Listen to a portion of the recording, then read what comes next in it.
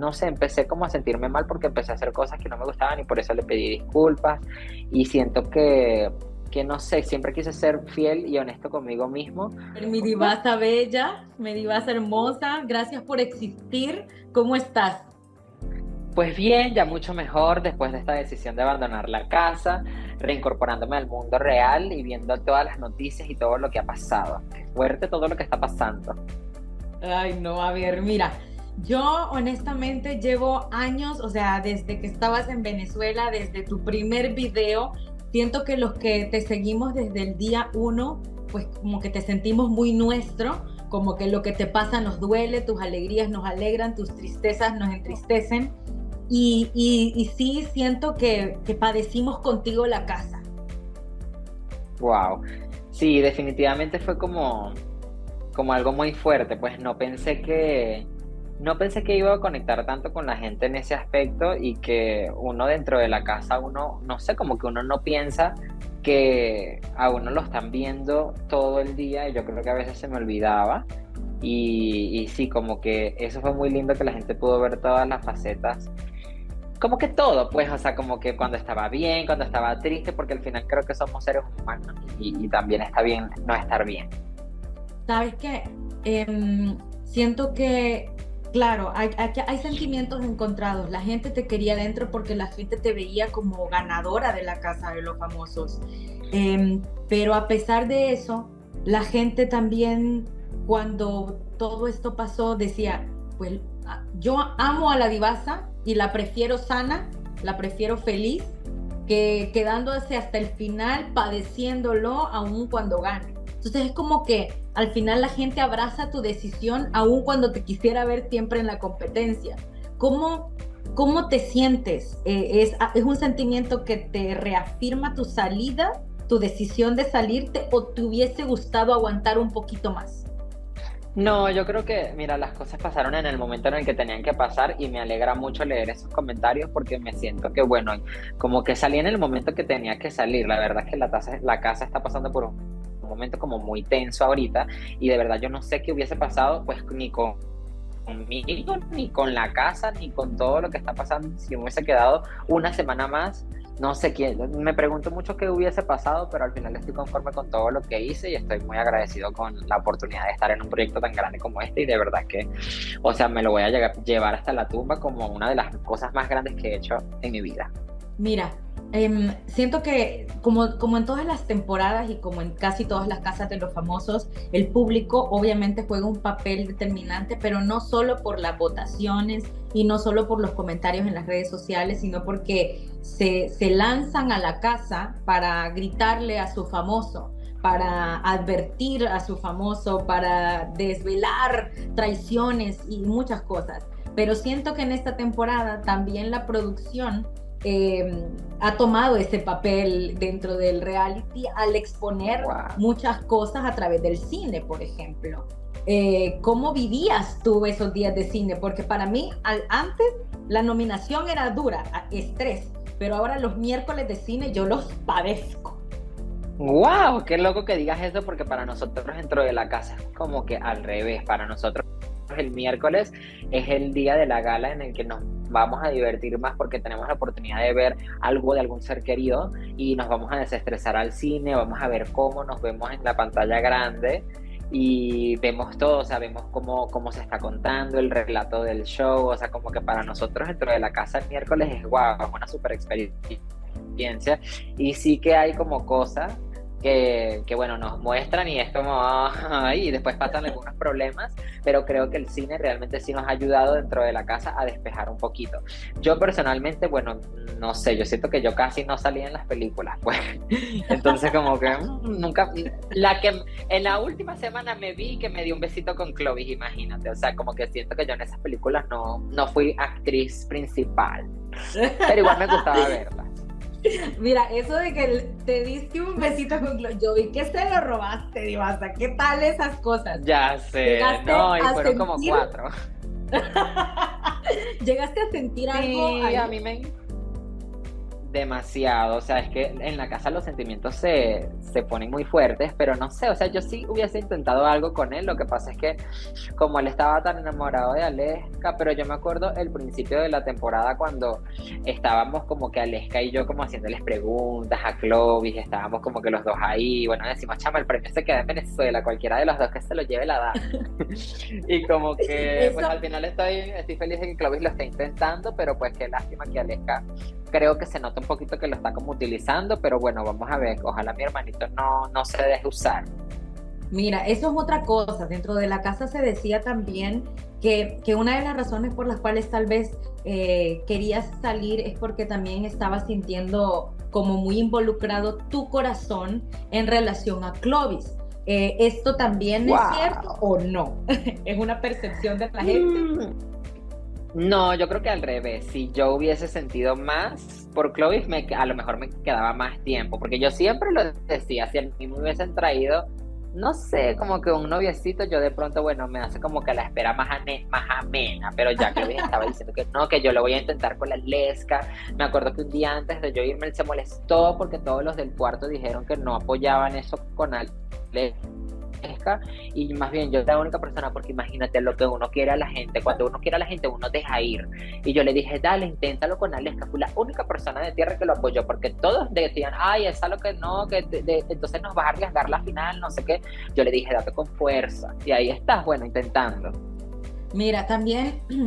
yo sé que ahorita el ánimo dentro de la casa es difícil por obvias razones. Lupillo está en agua, Maripili se afianza con, con fuego, eh, con tierra, perdón, y, y, ahora como que la gente está tirando a que, a que Lupillo es el más malo y Maripili es la víctima, y yo eh, en los últimos momentos que tú estuviste dentro de la casa, me pareció que eras como la voz de la razón, tratando de ser más centrada y decir, y como reconocer, a ver, tanto falla Lupillo como fallan estos y fallan otros. Es como que más justa en tus observaciones. Eh, ¿Cómo te sientes eh, eh, o cómo se vive esa situación dentro de la casa? Mira, a mí eso fue una cosa que la casa me enseñó demasiado porque yo creo que yo no tenía esa habilidad antes de entrar a la casa o quizás sí la tenía pero la desarrollé muchísimo más dentro de la casa. Creo que yo siempre traté de ver ambos lados de la historia porque no significa que haya una sola verdad en algo, en algo, como una historia siempre tiene, tiene los dos lados y es importante reconocer y ver y pues entender por qué las cosas, por qué las personas hacen las cosas. Entonces yo entiendo también a Lupillo, pero pues al final, este, y también entendía a Maripili porque porque yo entiendo, yo entiendo que es muy complicado y traté de ser siempre fiel a mí mismo y cuando ya no me sentía fiel a mí mismo y que estaba haciendo cosas como por, por influenciarme un poquito más, por ejemplo, una de las cosas que de verdad me arrepiento mucho es de haber tratado a Maripili como lo hice, porque fue como que, o sea, como que de verdad me dejé de llevar por el sentimiento que el grupo, que sí entiendo que son mis hermanos y que le hicieron mucho daño, de pronto a ellos, pero como que también, no sé, empecé como a sentirme mal porque empecé a hacer cosas que no me gustaban y por eso le pedí disculpas y siento que, que no sé, siempre quise ser fiel y honesto conmigo mismo porque creo que si no iba a volverme loco dentro de la casa si no hacía eso.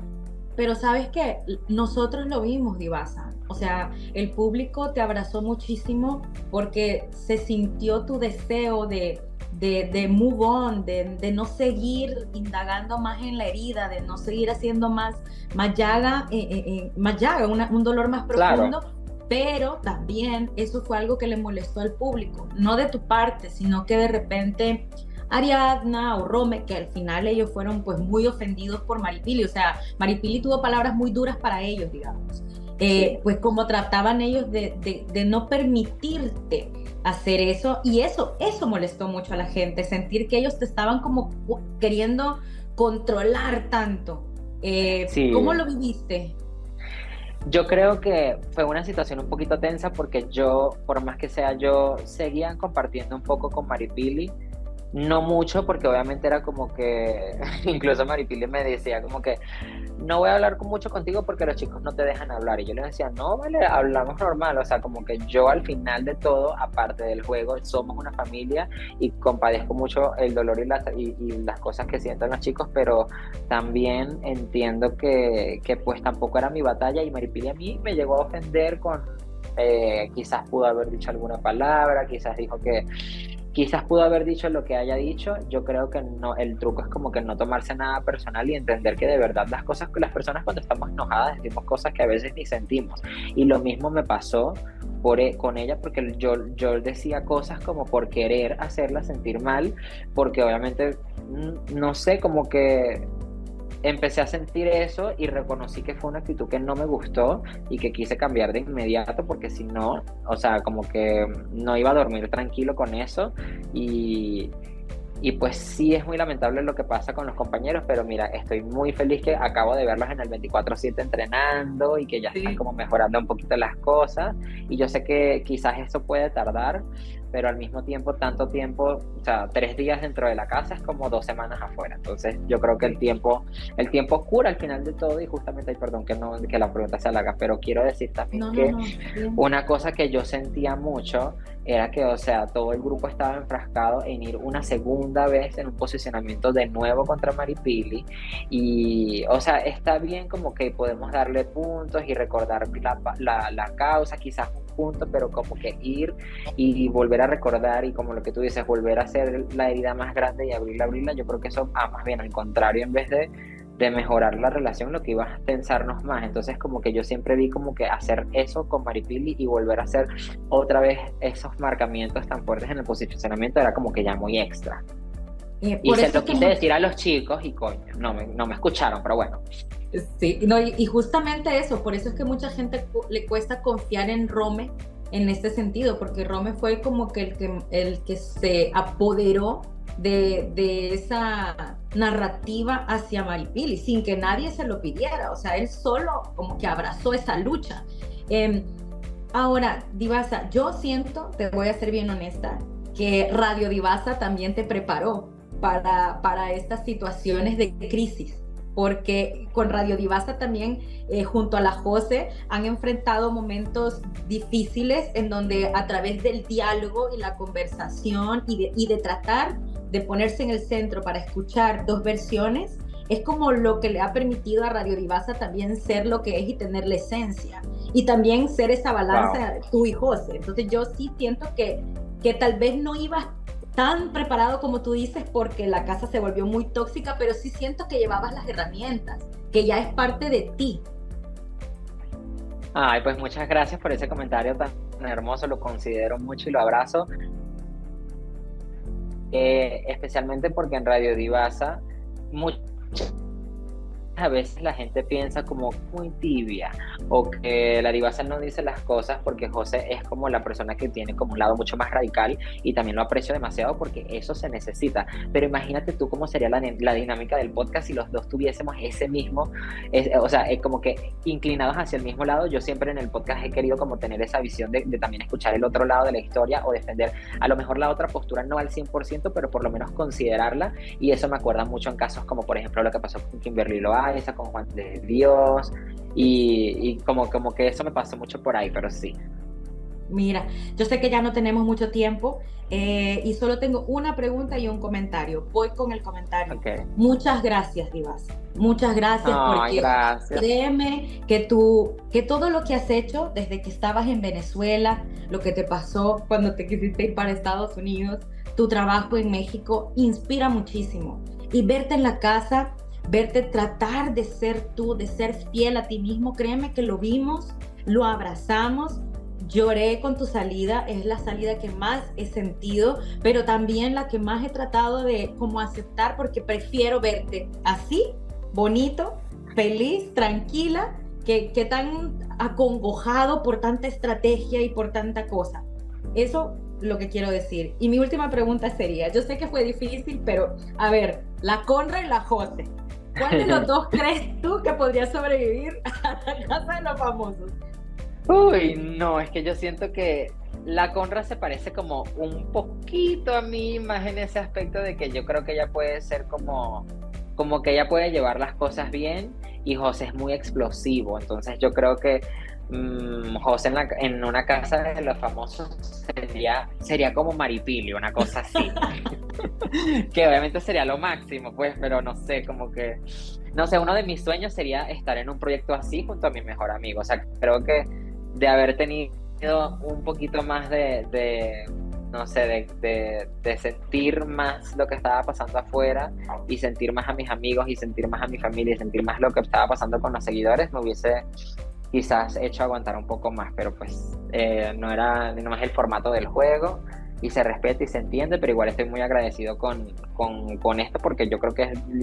de las cosas más grandes que he hecho en mi carrera y estoy muy agradecido también con Telemundo por eso. Y ojalá que lo que vengan sean bendiciones y muchas gracias.